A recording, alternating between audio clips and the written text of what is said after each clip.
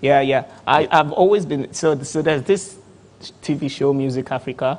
Yeah. While I was in secondary school, Okay. I would always watch uh, people like VIP, uh, Tinny, on on TV. Mm-hmm. And so I've always listened to Ghanaian music. So back in the from- day. Yeah, since then. And then then Sarkodie came, and Sarkodie is a rapper, and I'm like, yeah. This is I it. like, yeah. This guy but is then again, I, I couldn't understand what he was saying. Yeah.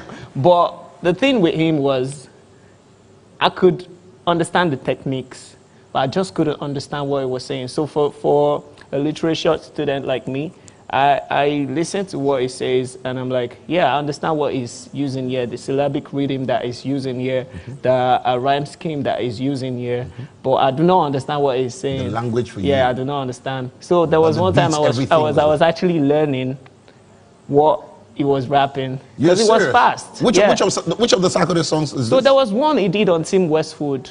oh, the freestyle. Yes, that was very fast on, on the All of the Lights instrumental. yes. yes. That was in Pam, 2013. pam, pam, pam, pam, pam, pam, pam, pam. Yeah, uh, that was in 2013. And, and, and if, you, if up. you let me connect this for you guys. Okay, So I put out I put out a mixtape in 2013 titled Conspiracy. It was because of that freestyle that Sarkodie did on that instrumental that made me choose that instrumental as one of the instrumentals that I used for my mixtape. So I listened to it and I learned it. I think I learned the first 30 seconds. But then when I rap it, people are like, so what does it mean?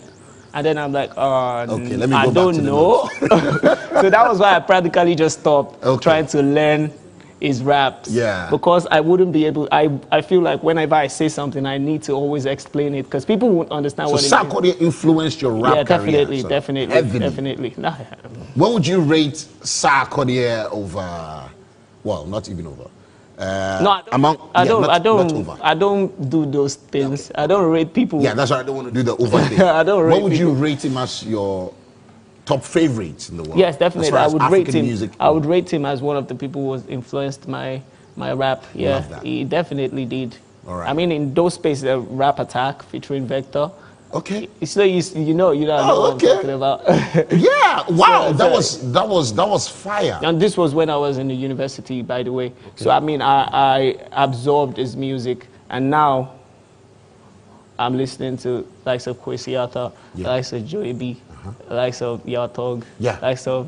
I mean, so I, I listen See, to Ghanaian music. This is where I say he is Ghanaian.